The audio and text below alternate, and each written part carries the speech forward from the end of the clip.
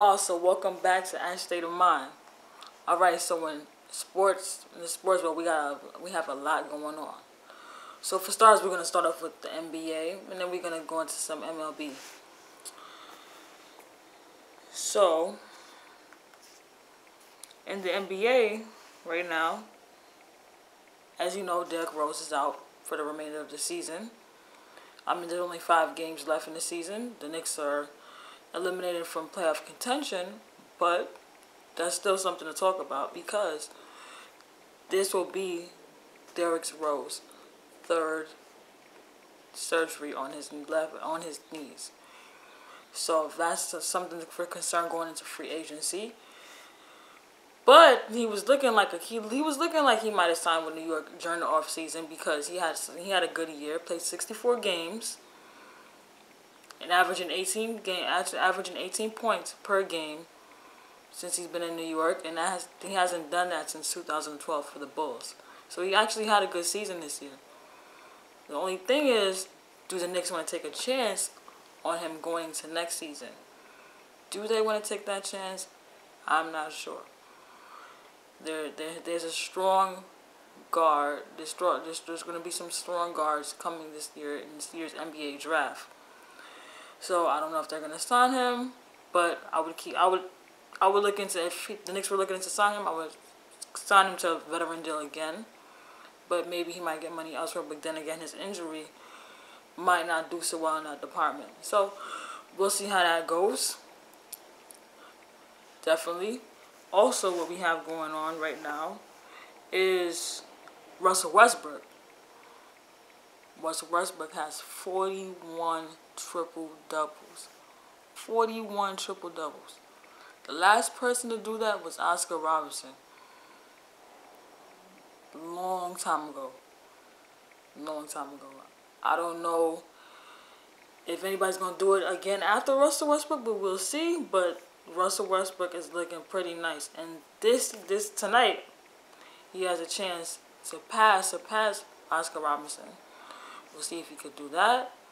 I don't know who he playing the will, who will he be playing tonight?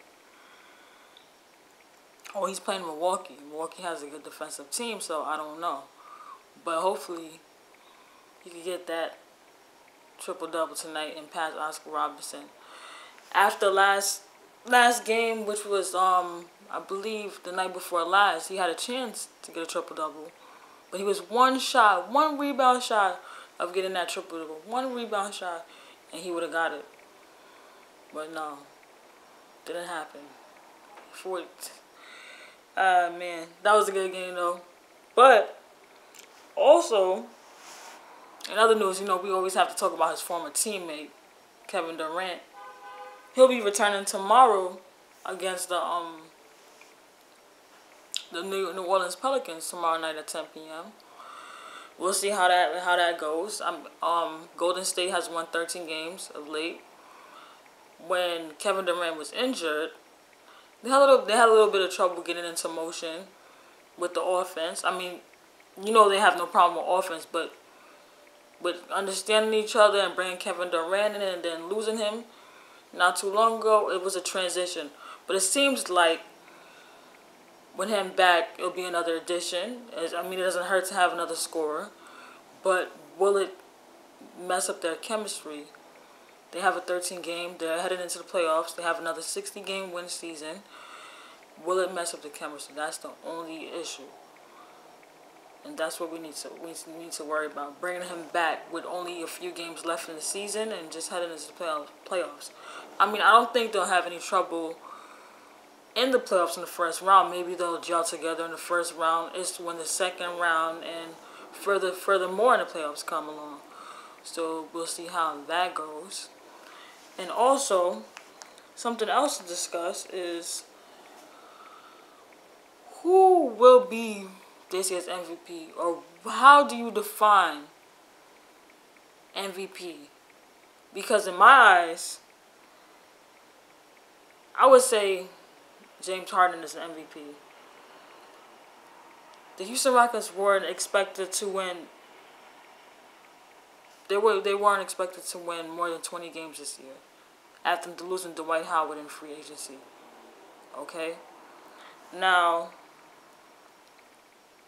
he's so um James Harden is second in scoring in the NBA. He's pretty much almost averaging a triple double also. But he has that impact on his team. If he wasn't playing, if he wasn't playing the level he's playing at right now, or if the team didn't have him, there'll be no chance they'll be third in the Western Conference or third at all best in the NBA. They have a chance to finish third in the NBA, third best in the NBA right now. Now, nobody on the team has more than nobody in the, on the team averages in the top 40 in the NBA. How could you lead a team? Without him, they're they're pretty much nothing. They they're pretty much nothing without him. If who who's gonna carry? He's carrying that scoring load. In a tough Western Conference at that. Now, also bringing Mike D'Antoni as a coach, who is an offensive-minded coach, was something to transition with also. So that's something he has he hasn't had to deal with. Also, he leads the NBA in assists. 11 a game. Alongside averaging 21 a game, which is second, right behind the other MVP candidate, Russell Westbrook. Now, he has had five 40 point triple double. Five 40 point triple doubles. Nobody in NBA history has done that before him. Having five games where you have 40 points, also alongside a triple double, that's special.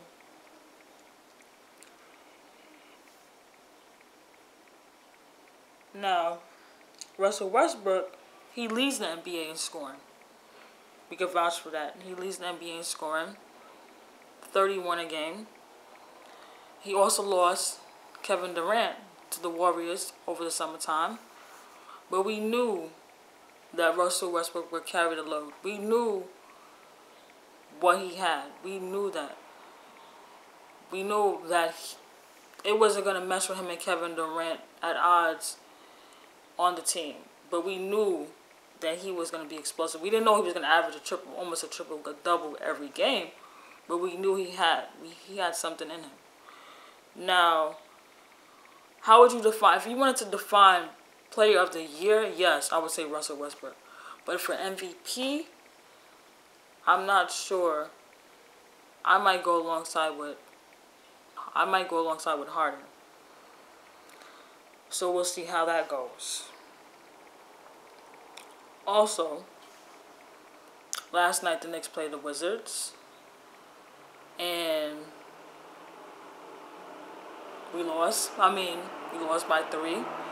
But also, we've seen a familiar face on the Wizards, Brandon Jennings, who played for the Knicks, and he was waived by the Knicks after requesting to go to more a team that's gonna likely go to the playoffs.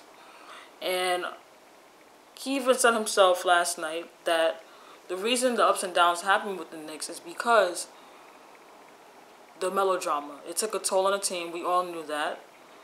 But to hear from a former player is something quite interesting. And it did play out. It did have a toll on the Knicks. There's many other occurrences to why the Knicks didn't have a good season, but that was one of them. The main reason, the drama between Melo and Phil Jackson. Now, we're going to go to some MLB news. Tonight, the Yankees will be playing the Baltimore Orioles in Baltimore. The New York Mets will be hosting the uh, Marlins at Citi Field this afternoon at 7 p.m. Both games are at 7 p.m. And if you didn't know, former football um, pretty boy Tim Tebow hit a two-run homer last night for the minors, and the minors for the Mets last night. Can he make a transition? Can he do something for the Mets like how he did for the Broncos during that one season? We'll see. See how it goes tonight. Alright. Peace out. I state of mind. Thank you.